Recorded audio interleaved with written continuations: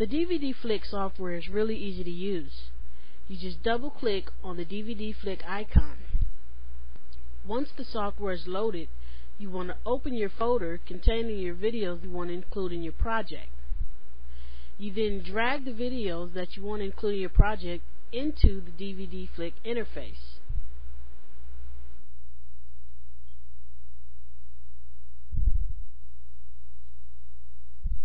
Once you've got your video selected, click on the project settings to make your adjustments. I recommend you keep them at their default settings the first time you use the program.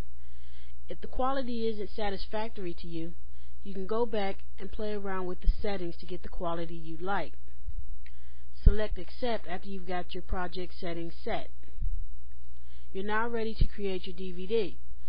Click on the Create DVD button and it will ask you if you're ready to proceed. Click Yes.